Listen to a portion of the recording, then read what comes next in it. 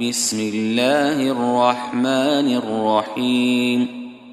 ألهاكم التكاثر حتى زرتم المقابر كلا سوف تعلمون ثم كلا سوف تعلمون كلا لو تعلمون علم اليقين لترون الجحيم ثم لترونها عين اليقين ثم لتسألن يومئذ عن النعيم.